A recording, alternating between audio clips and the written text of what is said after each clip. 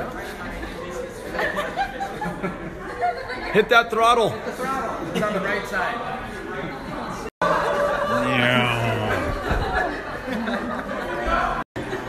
Hi, I'm Brandy Cook Brown from 100K Ideas. I'm Director of Operations, so I run day to day.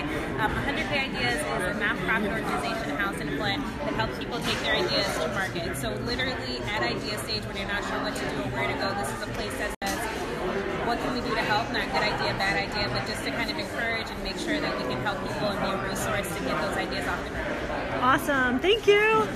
Hi, my name is Jonathan Blanchard here from Flint, Michigan, and um, I run an organization called STEMletics, which teaches students STEM fields of science, technology, engineering, and mathematics um, through sports in a way to uh, get students more interested in STEM fields and hopefully increase the numbers of students who are going into STEM uh, related fields in college. Thank you so much. Thank you.